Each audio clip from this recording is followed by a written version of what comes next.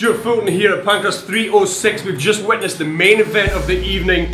Hiroyuki Tetsuka took on Kenta Takagi and absolutely blasted him. It was an excellent first round finish. They went in hands blazing and he finished off with a very nice choke sleeper. Tell us, how you feeling now? I'm feeling super good.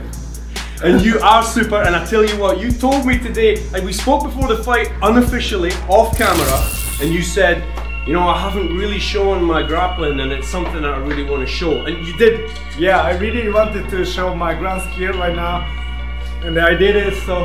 How did you feel when you had the mount position and he scrambled and then you jumped on the back? What was going through your head then?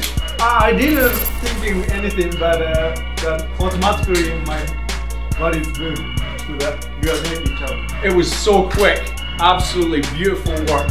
He is the new interim welterweight King of Pancrase champion. Now you might have to unify the belt with Glaico França and face him again. Yeah, I'm on a revenge. It was a very close match. That was a split decision and you had him in a lot of trouble. How do you think it will go down if you face him again in a rematch? Uh, I know he's strong and he's smart. He doesn't want a uh, standing fight, but yeah, I'm gonna take my old skills, groundwork.